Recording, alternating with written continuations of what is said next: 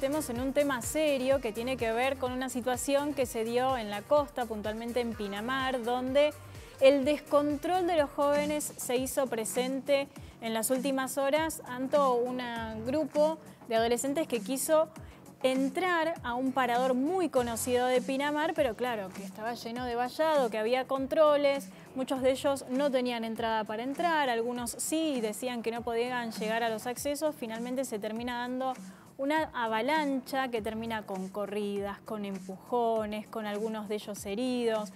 La verdad es que, mira, estos son los videos que se pudieron compartir también a través de las redes y propias afirmaciones de quienes estaban en el lugar. Desde ya que lo que tiene que ver con la pandemia, los cuidados, las distancias, acá está de más. Y también la importancia de la violencia con la que terminan dándose en esta situación, tratando de entrar a un boliche donde obviamente ya los límites estaban eh, rebalsados y cómo sortean todo el sistema de seguridad, el operativo de seguridad que se había impuesto.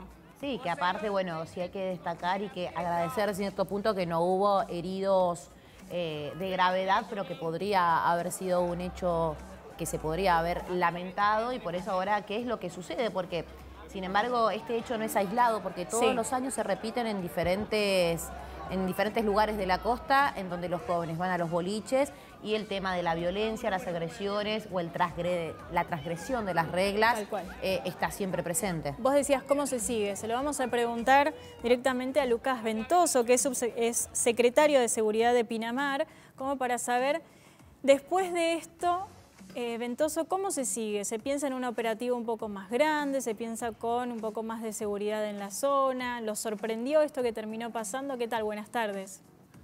Buenas tardes. Estaba viendo las imágenes. La, imagen que acaban de mostrar no la había visto antes, había visto otra imagen. Eh, subida también en la red social. Sí. A ver, nosotros eh, a raíz de esto empezamos una investigación desde la municipalidad, desde la Secretaría de Seguridad, porque tenemos algunas denuncias de clientes donde nos manifiestan la defensa del consumidor que han comprado, este, a este lugar se entra con entradas ya pagas previamente. Sí.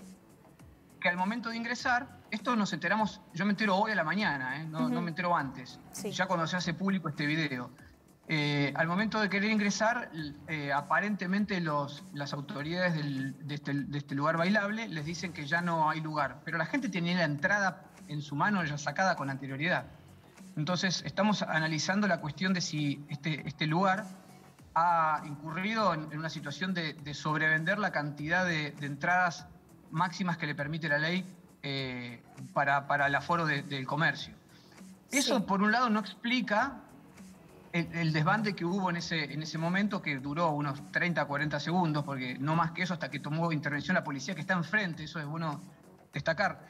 Sobre la Avenida del Mar hay apostados de manera permanente 5 a 6 vehículos permanentes más cuatriciclos y 20 efectivos del Grupo UTOY, más la, vigilancia privada del, lugar de bailable, que tomó intervención inmediatamente cuando sucedió esta, situación de desborde y de gente que se, que se coló. Sí. Eh, debo decir que no hubo heridos, por suerte, no hubo daños tampoco, al menos que sean reportados al hospital público ni a, ni a la policía. Hmm. Eh, pero no obstante eso, a nosotros nos ha dado gran preocupación la situación de que pueda haber una sobreventa de entradas eh, y, que, y, que que esto, por suerte no pasó nada, pero nosotros estamos para, también para prevenir esta situación. Por supuesto. Sabiendo, sabiendo que hay una realidad. Pinamar por noche tiene alrededor de entre 15 y 20 mil jóvenes que salen al centro, a, los espacios públicos. ¿Qué pasa? Eh, te diría que eh, ayer fue la última noche que estuve y hoy estaré dando también recorriendo junto con la policía. Pinamar tiene un fenómeno muy particular desde lo social, porque esto es, los chicos son, tienen una edad menor a la del viaje de egresados en Bariloche. Están entre 15 y 17 años. ¿Qué sucede? Esos chicos no pueden ingresar a ningún bar donde expendan alcohol porque está prohibido. Entonces quedan en los espacios públicos. Quedan en Bunja y el mar, quedan en la playa. Y para eso nosotros hemos dispuesto, junto con el Ministerio de Seguridad, un operativo de, seguridad de la provincia realmente impresionante de 700 efectivos distribuidos en todos los lugares públicos, que están literalmente cuidando a los chicos. Eh, pero los chicos siguen estando en la vía pública. Claro. Porque no los pueden obligar a ir a dormir. Eh, y, son chicas, la mayoría porque hay más chicas que chicos, promedio 15, 16 años, que salen de su casa a la una de la mañana y vuelven a la mañana, o sea, al amanecer. Y frente a eso el Estado no las puede obligar a irse a dormir. Los chicos lo que quedan es dando vuelta en el centro de Pinamar, con un gran operativo de seguridad, hay que decirlo, no sé en qué lugar, de, yo diría hasta del mundo, hay desplegado semejante operativo para cuidar solamente a los adolescentes que salen a la noche. Pero claro, en este caso puntual fue la fila, la entrada a un local donde se desbordó y por suerte actuó la policía minutos y pudo contener al resto. Ahora, ese operativo que tiene como objetivo cuidarlos, ¿no? Como bien decías. No pueden estar dentro de un local porque son menores, mucho menos tener acceso a la bebida alcohólica, pero yo imagino que si se pasan seis horas en la vía pública es porque se abastecieron durante el día de algunas botellas de alcohol y algo están, o sea, con algo pasan la noche. Ese operativo justamente, ¿qué es lo que hace? Desarma estos círculos que se, que se organizan? El operativo en general lo que hace es prevenir cualquier tipo de situación de violencia. Si los chicos, eh, a ver, las recorridas que suceden, que yo hago a diario y viendo decenas de miles de, jóvenes como los vemos todos los días, son eh, rarísimas excepciones las situaciones de, gresca, de violencia o de peleas. Prácticamente hay que decir que la inmensa mayoría de los chicos se comportan con total tranquilidad. Eh, uno ve, porque, también fue chico, y ve que salen eh, con tragos de, jugo de fruta. Sí. Y la verdad que yo no, lo pruebo a ver si tiene alcohol o no tiene alcohol. Pero, sabemos cómo, cómo, es la situación cultural de un chico de 16, 17 años que sale, que difícilmente se toma un jugo de naranja. Y sale, pongo otra cosa, una vida alcohólica, pero la policía tampoco puede probar, imagínense, 10.000 chicos a ver qué es lo que tiene dentro de cada bebida. Si sí tiene una, botella de cerveza o alcohólica, mm. la policía se lo confisca. Eso sí lo hace. Eso sí lo puede hacer. Pero está obligado a hacerlo la policía y lo hace. Claro. El tema es que generalmente sabemos, a ver, uno ve en las películas norteamericanas que vieron que le, tapan la bebida para que en una dentro de una bolsa de cartón para que no se vea. Eh, y, aquí, los chicos lo que hacen es ponerlo en un jugo de fruta. Este, pero lo que insisto es, en general no hay situaciones de violencia y hay mucho control policial desplegado en todo el centro y la zona de corredor de los boliches, que es Avenida del Mar y Bunge, donde hay eh, presencia policial permanente hasta la mañana. Es un punto donde se mezcla la gente que va temprano a la playa y los chicos que vienen de, los boliches a su casa a dormir. Y la policía estuvo toda la noche custodiando a esos chicos. Eh, así que eso también hay que destacarlo porque la policía hace un gran trabajo. De hecho, ayer, cuando pasaba a las 2 de la mañana por Bunge, está la parada del colectivo, y claro, centenares de chicos van a Villa Chicos, me refiero que deben tener más de 18 años porque allá tampoco pueden entrar si son menores. Sí. Y la policía estaba haciendo la fila para entrar al colectivo y que no rebalse de gente, controlando a los chicos la entrada dentro del colectivo. Digo, la policía está haciendo ya un trabajo casi personal de cuidado de los adolescentes. Yo, no he visto en ninguna parte del mundo que pase esto. Y aquí la policía lo está haciendo. Pero en un punto se ven sobrepasados porque 20.000 chicos todos juntos eh, eh, en la calle, no sé dónde se puede dar esto. Eh, sí, claro, es muy difícil de contener a 20.000 chicos. Importante. y aparte la, represión no sirve, no, puede la policía salir a correrlos, porque ¿a dónde los corren? No, Lucas, bueno, y está, nos estás mencionando los controles policiales eh, que suceden en el horario nocturno. ¿Y qué sucede en los horarios diurnos? Y a esto me refiero con las noticias lamentables de las últimas semanas respecto a los choques de cuatriciclos, de UTVs, que, que, mencionan que son muy difíciles de controlar. ¿Cuáles son las normas vigentes y actuales respecto a la circulación de estos tipos de automóviles? y de A ver, las, normas, de, de tránsito y, para poder transitar eh, las establece el Código de Tránsito de la Provincia de Buenos Aires y en principio las respetan todos. Eh, nosotros tenemos controles de tránsito permanentes, permanentes desde los primeros días de diciembre hasta marzo en el acceso eh, del corredor seguro de la playa en el norte, también en la parte sur, a Cariló, y en los ingresos a, a los corredores seguros en Valeria.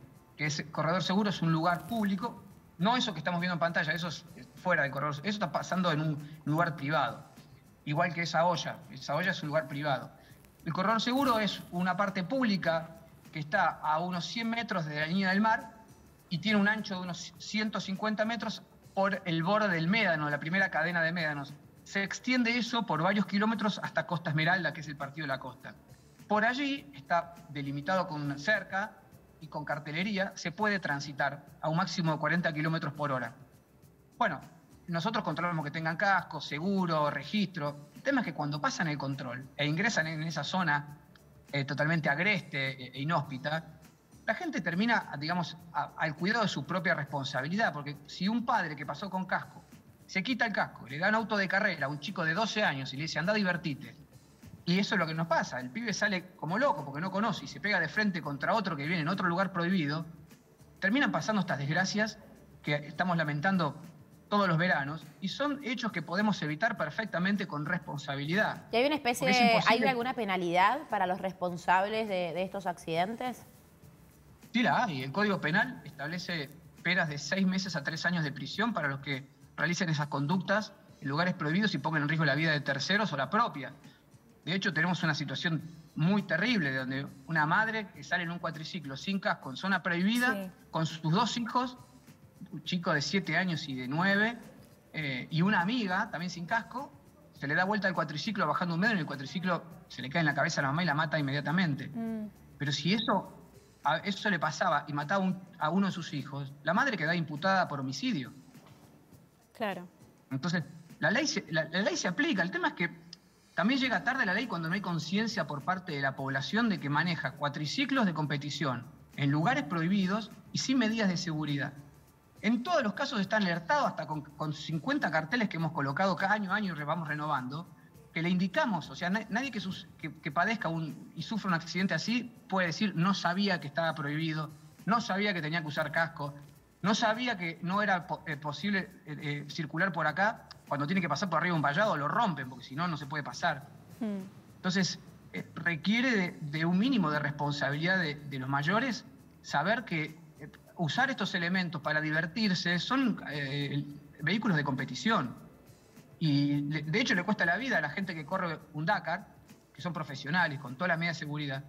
Imagínense la gente que sale en hojotas, en cuero y sin casco manejar estos vehículos. Claro, lo que pasa es que durante años estuvo como instalado justamente esta teoría de el cuatriciclo en la playa.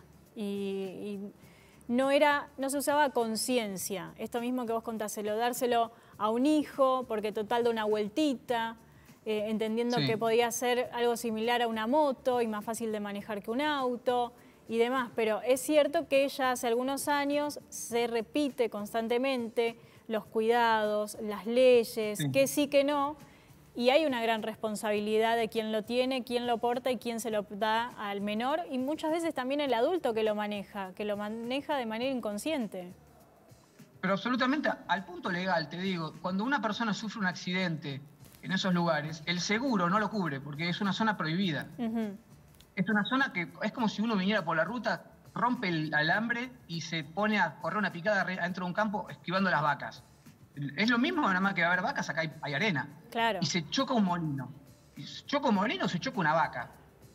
Entonces, algunos proyectos me preguntan, ¿y cuál es la responsabilidad del dueño del campo? Le digo, ninguna si han roto el alambre para pasar. Inclusive hasta hace una semana, una persona a un alambre que separaba la zona pública de la privada, se lo, se lo pegó en la cara a la altura del mentón eh, y le desfiguró la cara y no tenía casco tampoco, porque no vio el alambre. Y el alambre separaba el terreno privado de, la parte pública. Entonces, eh, a eso me refiero de, la, inconsciencia y de la irresponsabilidad. Llega a punto que le está costando la vida a mucha gente y la salud a los propios hijos que a uno le da para divertirse estos, estos vehículos de competición. Por supuesto. Ahora, eh, Lucas, ¿cómo, para sacando un poco de los operativos y demás, cómo ves la temporada? ¿Cómo recibieron enero? ¿Cómo se van preparando para febrero? ¿Muchísima gente? Mucha gente, la verdad que sí. Eh, el contexto también del país, la situación económica, la, prohibición de viajar al extranjero en muchos casos, hizo que un lugar como, digamos, Pinamar, con, la característica que tiene particular sobre su, nivel de, turismo, digamos, de, los más caros en verano, este, hace que la gente que en otro tiempo viajaba al exterior hoy esté aquí, o que hmm. viajaba a Uruguay, o que viajaba a México o Estados Unidos, está acá en Pinamar. Otra de las cuestiones que yo hice mención, esta misma gente que se va a Estados Unidos de vacaciones o se va a Uruguay, en Uruguay o Estados Unidos no hace las cosas que hace acá. no se sube un cuatriciclo a fondo y sale a hacer lo que quiere creyendo que está en la ley de la selva. Allá sí cumple las leyes. Y acá no es que no hay leyes, ¿eh? ni, hay, ni hay controles, sí los hay. Lo que pasa es que es imposible poner un policía cada 50 metros durante 30 kilómetros de playa. No, además, eh. imagino que una, una multa fuera, primero que las penalizaciones son mucho más duras, hay que quedar detenido en el exterior, digo, no es nada fácil y después las multas son carísimas y en dólares, así que lo debe empezar no dos veces, cinco veces antes de cometerlo. Seguro. Seguro. Y en cuanto a la temporada, eh, enero sí te fue una, ya te podría decir que estamos transitando mucha, mucha cantidad de gente en el, municipio. Nos falta todavía la otra mitad, que es todo el resto de febrero, que viene muy tranquilo. Bueno, nosotros tenemos una imagen ahora, te digo, en vivo de Pinamar, que se ve un día espectacular. Ha repuntado un poco el clima después de esta semana tan ventosa y lluviosa, parece. No, no, después de, estuvo lloviendo cinco o seis días con frío. Sí. La verdad que desde ayer y hoy, hoy, hoy hasta las 11, 12 del mediodía fue, eh, el mar era el Caribe. Increíble el mar. Después se levantó el vientito nuestro de siempre de la costa atlántica bonaerense. Pero eh, hoy fue un día increíble de playa y mañana se espera lo mismo. Bueno, ojalá que quede así. Ojalá quede así, que acompañe también a los turistas. Ay, justo, mira, no nos dejó despedirnos de Luzca, se cortó la comunicación, pero que este clima quede por lo menos... porque me da una pena, por... Ah, lo recuperamos, que era para, para saludarlo, aunque sea para agradecerle. Lucas, ahí está, te perdimos por un segundo. Para agradecerte esta comunicación, ya estábamos viendo el buen clima que los está acompañando, que esperamos que se quede unos días más para justamente hacer eh, una buena, un buen descanso y unas buenas vacaciones para quienes están disfrutando de Pinamar. Esperemos que así sea y bueno, muchas gracias por la comunicación. Hasta la próxima. Hasta luego. anduvo de